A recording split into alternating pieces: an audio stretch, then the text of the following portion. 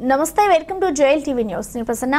విశాఖ జిల్లా పెందుర్తి మండలం కృష్ణరాయపురం గ్రామంలో ఉన్న ఐటీసీ గోడౌన్ను ఇతర ప్రాంతాలకు తరలించి అందులో పనిచేసే కార్మికులను తొలగించడానికి కంపెనీ యాజమాన్యం యత్నిస్తుందని సిఐటియు ఆరోపించింది. తక్షణమే దీనిని విరమించుకోవాలని డిమాండ్ చేస్తూ సిఐటియు నాయకులు అప్పలరాజు పెద్దాడ వరప్రసాద్ కార్మికులతో కలిసి కంపెనీ వద్ద ధర్నా చేశారు. ముప్పై ఏళ్ళుగా అరవై మంది పనిచేస్తున్నారని వీరిని తొలగించే యత్నాలను అడ్డుకుంటామని హెచ్చరించారు. నిర్ణయాన్ని వెనక్కి తీసుకోవాలి మేనేజ్మెంట్ తన నిర్ణయాన్ని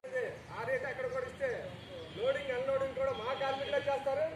ఎందుకంటే ముప్పై సంవత్సరాల నుంచి నమ్ముకున్నారు. ముప్పై సంవత్సరాలు నమ్ముకున్నా ఈ రోజు ఏదో కొత్తగా తీసుకెళ్ళి పెట్టి అక్కడ అక్కడ దాని మేనేజ్మెంట్ మా వెంటనే పరిష్కారం చేయాలి.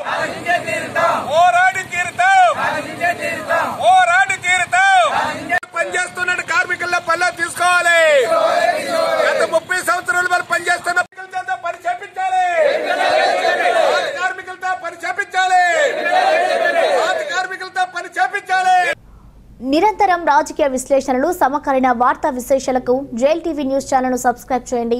పక్కనే ఉన్న గంట సింబల్ను క్లిక్ చేయండి.